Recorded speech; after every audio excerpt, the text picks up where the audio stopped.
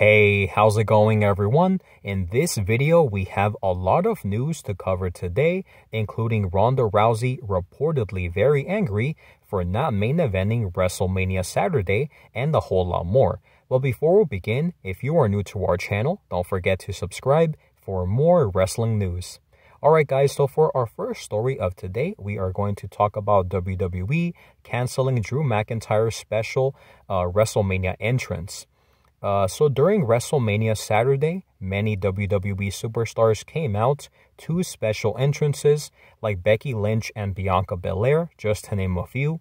But for some reason, WWE decided to cancel Drew McIntyre's special entrance because Mark J. Wilson of the group Kilted Warriors shared several photos of the group backstage at the AT&T, AT&T Stadium with the caption Kilted Warriors for Drew McIntyre that got cancelled. Also, metal performer Sean Stark shared a video from the arena on Twitter where he said that they were also going to be a part of Drew McIntyre's entrance, but because of time issues, they uh, their uh, appearance, I guess you could say, had to be scrapped. Uh, next up, we are going to talk about Jon Moxley currently dealing with an injury. So, although Bryan Danielson and Jon Moxley have shown to be a very strong team, Jon Moxley is not wrestling at 100%.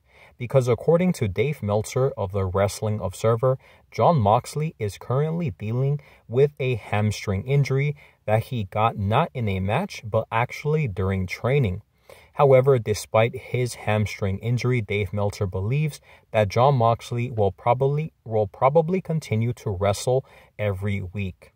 Uh, next up, we have some news on Ronda Rousey uh, reportedly walking out of the WWE Hall of Fame after finding out that she will not main event WrestleMania Saturday. Uh, so recently, Bryan Alvarez of the Wrestling Observer reported that Ronda Rousey was so angry that she walked out of the WWE Hall of Fame taping after finding out that Kevin Owens versus Stone Cold Steve Austin would be the main event of WrestleMania Saturday instead of her uh, SmackDown Women's Championship match against Charlotte Flair. However, Ronda Rousey took to social media to shoot down that report by saying, I don't know where these reports come from, but it was an absolute honor to perform under Steve Austin at WrestleMania in Texas. I wasn't at the Hall of Fame because I have a six month old baby I had to put to sleep early. People are literally creating uh, drama out of thin air. So I guess we will have to wait and see, guys, uh, what new information, if any new information comes out regarding this report about Ronda Rousey uh, reportedly being angry for not main eventing WrestleMania 38.